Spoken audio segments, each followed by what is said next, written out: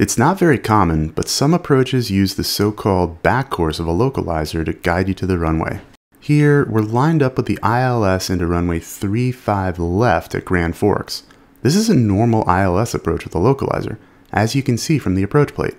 The opposite runway though, 17 right, has what's called a localizer back course approach.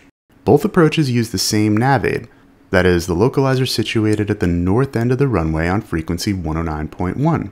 Both approaches have a localizer feather indicating the approach path into the runway. On the north side, on the approach into runway 17 right, the back course of the localizer is used, and that's called out by a note on the plate. On the south side, the ILS approach into 35 left, a front course is used. We'll place a note there to distinguish. The localizer feather on the front course has shading on the right side, as viewed from the point of view of an aircraft inbound to the runway.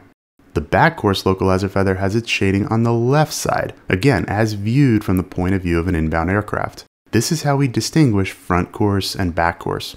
On this approach, we're inbound on the ILS, along the front course. The needle uses what's called normal sensing. That is, the needle will deflect to the side the approach course is on in relation to our aircraft. As we drift right of course, the needle swings left. To get back on course, we need to fly to the left of the approach course which allows the needle to come back towards center. It works just like a VOR when it's properly set, only it doesn't matter what we have set on the VOR receiver. The localizer signal is directional, so it's always on the same approach course. Now let's turn ourselves around so that we're flying southbound. We're flying away from the runway. You don't usually fly the reverse direction on a localizer. The needle is still off to the left side, but in order to center it, we don't fly to the left again, we have to fly to the right. This is reverse sensing. Many times pilots will visualize themselves as the needle and the approach course as the center circle, so to re-intercept here, we need to fly to the right. To summarize our situation, we're flying outbound, which is the reverse direction, on the front course the localizer, which is the normal side. A negative and a positive together makes a negative, so we need to use reverse sensing.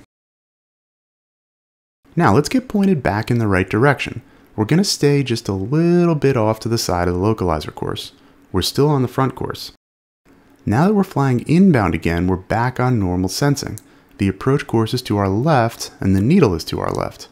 As we fly over the runway, the needle gets more sensitive and swings all the way out. The localizer transmitter itself sits at the far north end of the runway. When we reach a beam that point, the signal goes dead and as we continue to fly past it, it comes back alive. We're now on the back course of the localizer. It's the same signal on the same frequency, and it's broadcasting no differently than on the other side of the transmitter. That's why the needle is still off to the left. That hasn't changed. Also, to intercept, we still need to fly to the left. We're outbound, which is the reverse direction, on the back course, the reverse side of the signal. Just like in multiplication, two negatives cancel each other out and become a positive, so we're on normal sensing. It's abnormal to fly outbound on a localizer, but it's also abnormal to use the back course, so these cancel each other out and we use normal sensing. You see outbound flight along a back course on the infamous Loc DME approach into Aspen, Colorado. From the approach course, if you go missed, you start a climbing right turn to intercept the localizer back course from a remote transmitter. Notice the back course written next to the localizer feather, as well as the shading. It's on the left side from the point of view of an inbound aircraft. On this missed approach though, we intercept and fly outbound. Two reverses outbound on the back course make for normal sensing, and this is actually called out on the approach plate. There's nothing special about this particular back course that makes it normal sensing, it's just because we're flying outbound along it. But at Grand Forks, we decide to swing back around and fly inbound to runway 17 right. As always, the needle is deflected to the left, but this time we're flying inbound, the normal direction, along the back course, the reverse side. A positive and a negative make a negative, so we're in reverse sensing.